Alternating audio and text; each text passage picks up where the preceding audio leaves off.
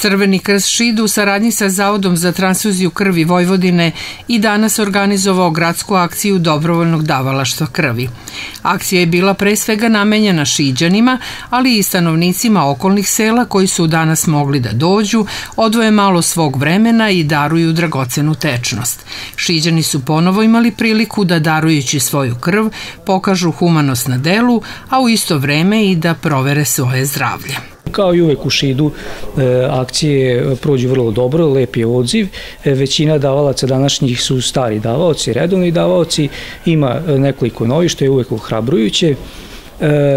Tako da bih iskoristio ovu priliku da apelujem na, na sve građane dobre volje e, i oni koji su ranije davali i oni koji imaju želju da daju, a nikad nisu davali, da se odazovu na naše akcije ili ako su u Novom Sadu naš zavod za transfuziju krvi Vojvodine ili na, u svojim gradovima i mestima u zavisnosti od, od rasporeda ove akcije mogu da se informišu na sajtu budidavalac.krvi.com ili da pozovu naš zavod o rasporedu akcije i da se e, odazovu.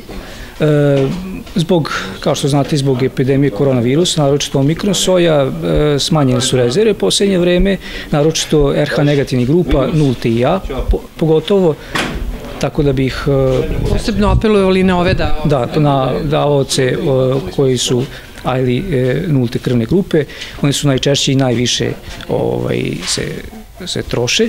Od kada je počela vakcinacija protiv koronavirusa kod dobrovoljnih davalaca i onih koji to tek treba da postanu, postoji dilema da li posle vakcinacije mogu da daju krv. Prema preporuci lekara, oni koji su primili vakcine proizvođača Sinopharm i Pfizer, ukoliko nemaju nikakve reakcije, krv mogu dati odmah sutradan, a oni koji su se opredelili za Sputnik V i AstraZeneca treba da sačekaju dve nedelje.